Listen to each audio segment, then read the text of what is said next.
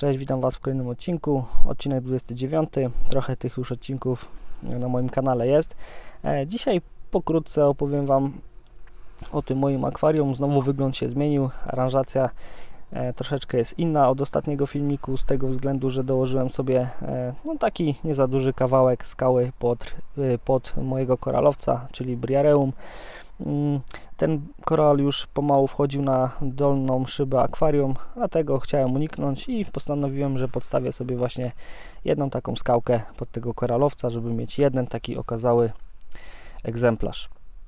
Mm, Skałę wziąłem e, z wiaderka, e, bo jak wiecie, za niedługo będę, za niedługo, no za jakiś czas po prostu będę zakładał większe akwarium, a skałę już kupiłem wcześniej, e, 15 kg skały Base Rock i ta skała się moczy e, w solance, w wiadrach, cyrkulator e, tę skałę opłukuje. No i właśnie wziąłem taki jeden kawałek i podłożyłem pod bria- briareum.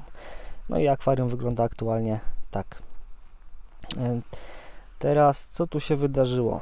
Już Wam mówię. Babka leukotenia, czyli ta pseudomurena, gdzieś mi się straciła, nie mam pojęcia gdzie. Mm, Przeszukałem podłogę koło akwarium, na szczęście jej nie znalazłem i mam taką cichą nadzieję, że ta ryba żyje. Gdzieś tam może e, w skale być.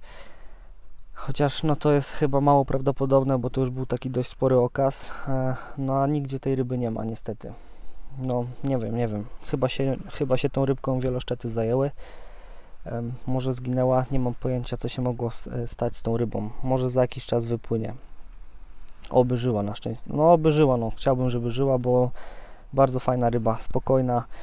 No coś innego w tym akwarium było. Fajnie się ta rybka zachowywała. Kurczę, no mam nadzieję, że, że żyje, tylko po prostu gdzieś tam sobie skitrana jest inaczej schowana. E, Co jeszcze?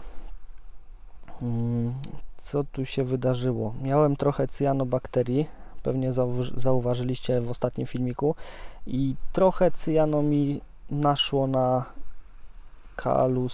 kaluastrea, no na tego koralowca, teraz Wam go pokażę. No i trochę naszło e, te cyjano na dwie główki, E, odcięło dopływ światła i niestety e, te dwie główki no, no nie żyją już, no ale reszta koralowca ma się dobrze, z tego co widzę. E, No, nie można dopuszczać, by cyjano takie rzeczy e, wyczyniało. I wziąłem e, pipetę, przedmuchałem e, tego korala, cyjano odleciało i już jest raczej ok. Ciepło strasznie, a na szczęście temperatura w moim akwarium jest ok. Mam zasłonięte okno, mam taką fajną żaluzję, która nie przepuszcza ani promyczka światła. No i jakoś ta temperatura jest znośna dla moich mieszkańców. Co tu się jeszcze ciekawego wydarzyło? No tak naprawdę nic. Węgiel y, teraz podczas podmiany wywaliłem, dałem nową y, paczuszkę. Używam z firmy Aquael. Najtańszy węgiel jaki jest. Daje radę. Mm, Także nie ma chyba co kupować e, droższych e, węgli.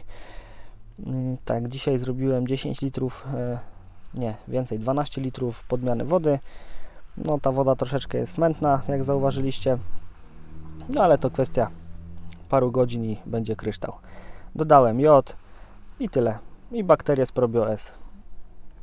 No i tak aktualnie się prezentuje moje akwarium. To tyle na dziś. Pozdrawiam. Cześć.